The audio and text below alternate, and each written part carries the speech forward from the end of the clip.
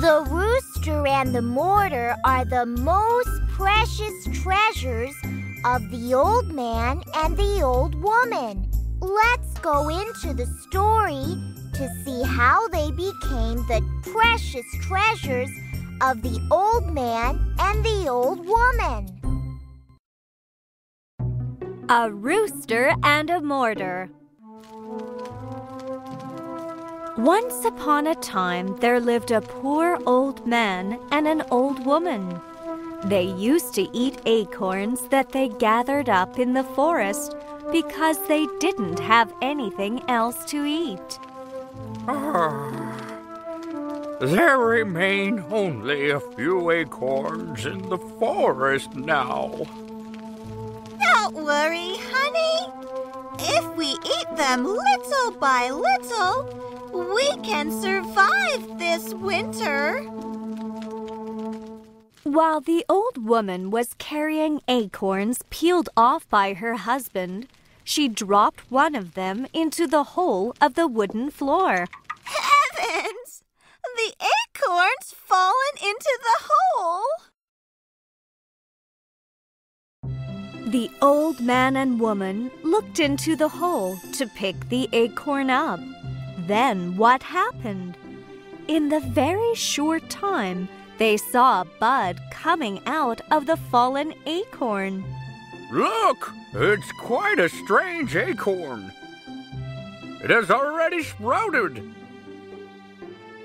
Honey, this bud will grow to be a big oak tree and bear lots of acorns, won't it?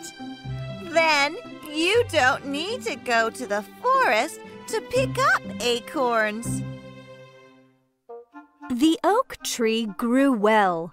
As soon as the old man stripped off the floor and the roof for the tree, it grew out through the floor and the roof to the sky. The oak tree now has grown full. Tomorrow I will climb up the tree to pick up acorns. The next morning, the old man climbed up the tree, carrying a sack on his shoulder. Oh, it has a good view from the sky. Then, what's that? The old man who tried to pick acorns found that something strange was coming from between distant clouds. The old man went nearer, treading on the clouds. There he found a rooster and a mortar used for pounding grains. A rooster with a golden crest and a blue border. My wife will be glad if I bring them. The old man came home with the rooster and the mortar. The old woman marveled at the mortar, touching it here and there.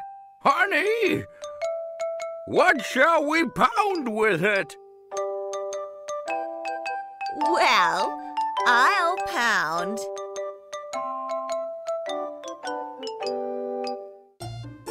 When the old woman pounded on the mortar, something amazing happened. From the empty mortar, pancakes and buns poured out. Honey, look here. Pancakes and buns. we don't have to worry about food anymore.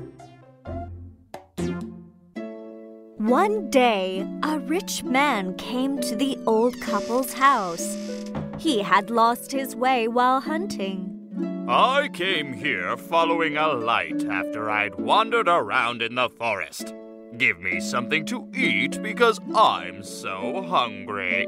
Please come in, sir. Wait for a moment while I make our food with this mortar. As soon as the old woman pounded on the mortar, a lot of pancakes and buns poured out. Wow, how could they get such a wonderful thing? The rich man wanted to have the mortar, so he asked the old couple to sell him the mortar, giving them gold coins. This mortar is a precious treasure which gives us food. Sorry, but we can't sell it, sir. Hmm, is it? You'll have to pay for this. That night, the rich man took the mortar and slipped away. The old man and the old woman were very sad when they found the mortar was stolen. Grandpa! Grandma! Don't worry! I will find your lost mortar!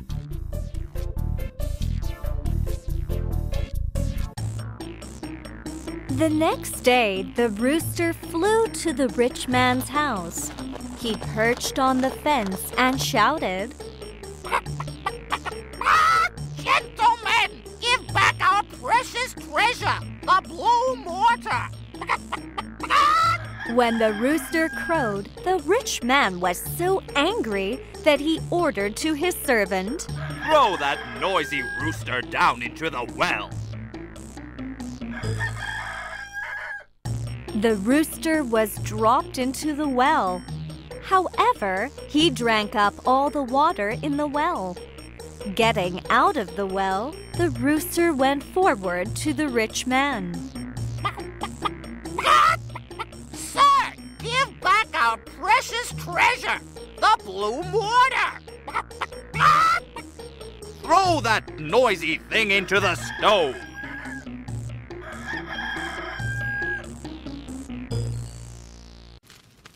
The servant caught the rooster and threw him into the stove.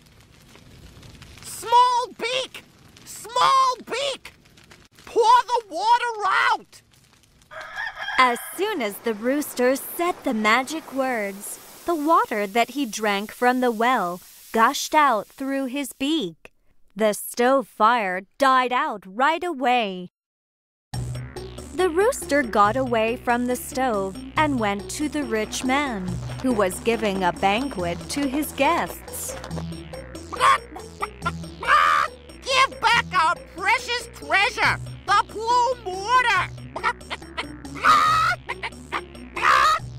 When the rooster crowed, the guests ran out since it was so noisy. Oh no! This bad fellow. Hey, friends! Where are you going? Oh my goodness! The rich man followed his friends in haste and dropped the mortar. At the very moment, the rooster snatched the mortar and flew to his house with it.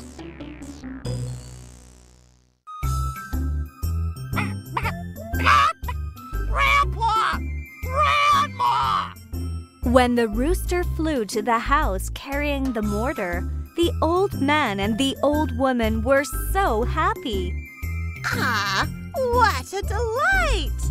Our rooster brought back the mortar. Rooster, thank you. The rooster and the mortar must be the presents God gave for the old man and woman who were poor but good hearted.